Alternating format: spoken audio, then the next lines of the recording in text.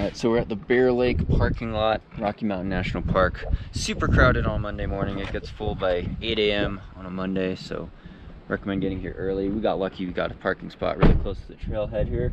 We're gonna do a big loop out in Rocky Mountain National Park, link up some other trails, go way beyond Bear Lake, uh, which most people, it's more crowded around the lower areas.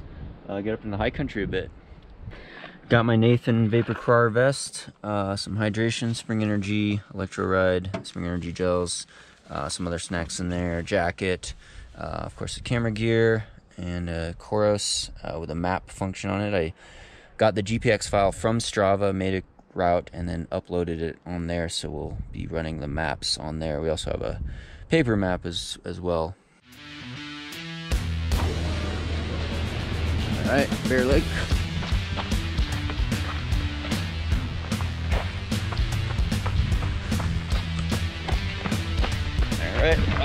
About 11 mile loop, but it'll probably be longer. Way I mapped it on Strava. High altitude as well.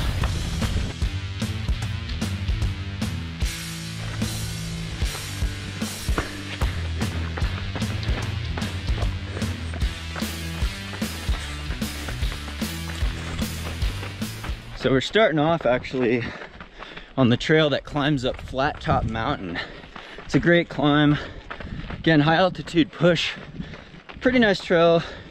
Fairly popular with hikers to get up flat top, but then we're gonna split off of it. So uh, take a different route. So got the navigation map function going on the Coros.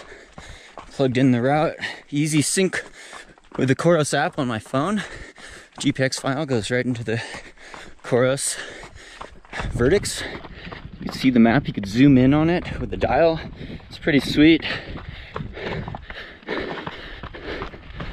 There's Sandi climbing well at altitude already.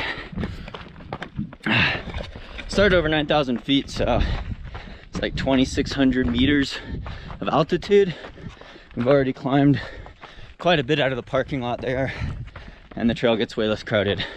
Heading out towards Odessa Lake, and uh, yeah, it's a nice day, beautiful day in Rocky Mountain National Park. Blue sky, pretty hot and sunny. Love it. Already getting a view. The Hoka One One Torrents on, nice trail shoe. Not a good sign. We're only a mile and a half in and we're hitting a lot of snow. We're not even up that high, so this is surprisingly not a good thing here. If the trail is covered in snow, it's gonna be not what we wanted. Kind of like runnable trails. I like the snow, don't get me wrong, but we had a lot of snow this winter. Snow melt's been really slow. That's why they canceled Hardrock and the San Juans. Indian Peaks, Rocky Mountain here. Snow always melts really late in the year. Uh, I guess the sun didn't hit here very much. Use my map to see where the trail is.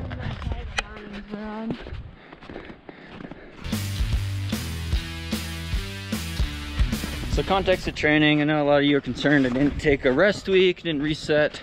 Uh, I mean, I have been resetting, I had fun, took a pretty down week after Mount Blanc. Uh, you know, over racing is definitely a problem. I don't think it's overtraining.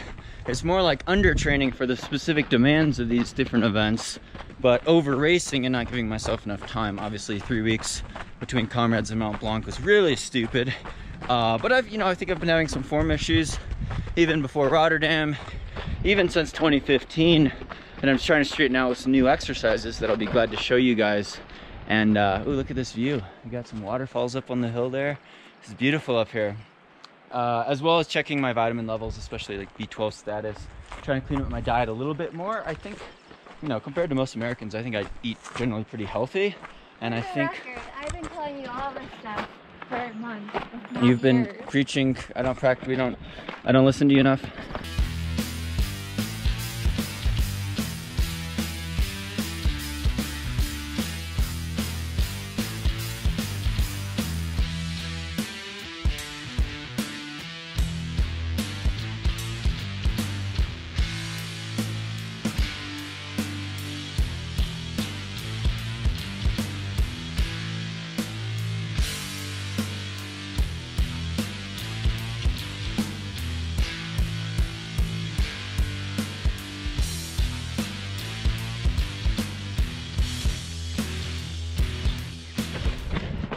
So yeah, I know I could cut out a little desserts, cut out a little beer, those extra calories, uh, eat more salads, I think. Probably need that. My folate's pretty high though, so I wasn't too worried about folate, but it's getting in a ton of antioxidants. Uh, trying to eat clean, but sleep well, recover like that, but also doing these extra exercises with my new hex bar weight, hex bar deadlifts, stretching out the hip flexors more, doing more high intensity stuff. Actually, I think I shied away from that, especially with the hill reps. So short, high intensity hill reps.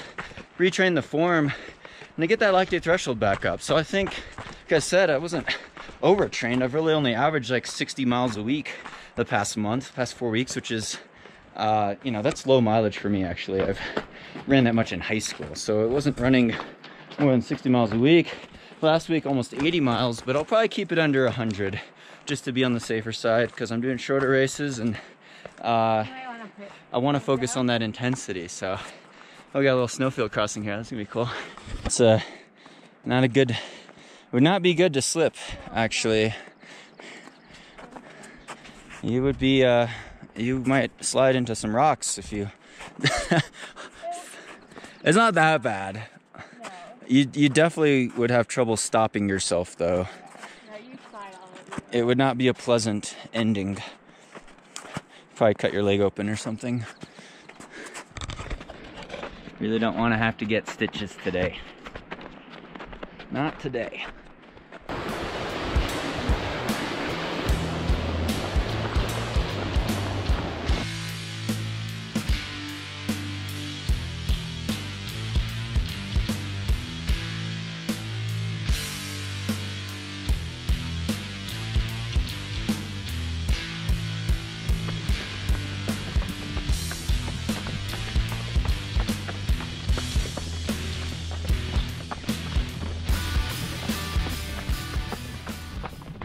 That trail's for the privy. It's a funny word. Sponsor plugs, product plugs, enter code RokaSage20 for a discount at Roka for the Halsey model. These are sunglass product sponsor plug, hashtag ad, hashtag sponsored. Uh, what else could I plug? Enter code SAGE at myspringenergy.com. Try out the Canaberry. All right, enough of that. Let's get going.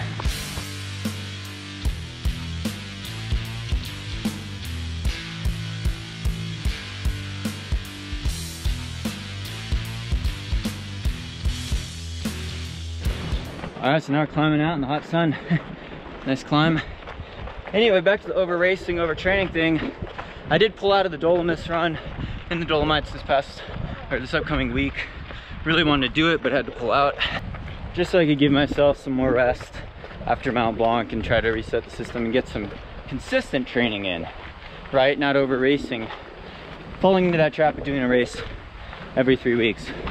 Definitely a bad idea. So that's really wanted to be there really bad i'm missing out. Looks like a fun time beautiful course in italy.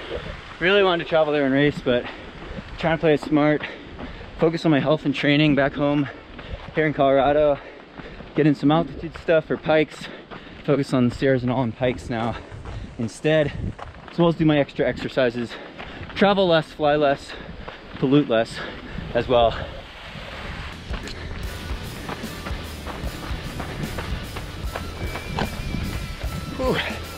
Sandi's crushing this climb.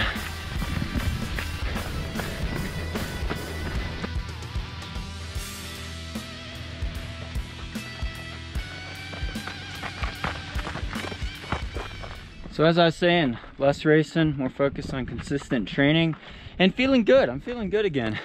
Back home in Colorado, getting in some high altitude stuff here in Rocky Mountain, going up Elbert the other day, getting into the high country, summer adventures, eating healthier, taking a lot of B12, things like that. So let's finish up this loop. All right, after that last climb, it's getting pretty hot out here today, uh, but finishing up a loop, probably be over 11 miles, maybe 12 miles or almost 20K, uh, several thousand feet of climbing, high altitude, good variety of trail. This loop in Rocky Mountain National Park, you can find me on Strava, Instagram, Twitter, at Sage Canaday. All right, so back where we started at Bear Lake, going back to the car, a little over 12 miles. All right, just finished up the run, ended up being about 12 miles, 20K. Uh, uh, 3,000 feet of climbing, almost 1,000 meters. But high altitude and great uh, single track, great trails, Rocky Mountain National Park. It does get very crowded around the Bear Lake area, but once you get up high uh, out in those miles, it's a lot more isolated. And of course, beautiful scenery right in our backyard out of Estes Park, Colorado. Uh, again, thanks to all the Patreon supporters for really making this possible. Thanks for subscribing on here. It really helps me out a lot. Thumbs up if you like these types of videos. Stay tuned for more uh, training and running form tutorials as well as training vlogs, stuff like that. Check out Coach Andy's channel, Running Wild to Believe. Uh, sure to subscribe on there too. Thank you again. Hope your running's going well. Stay tuned for more.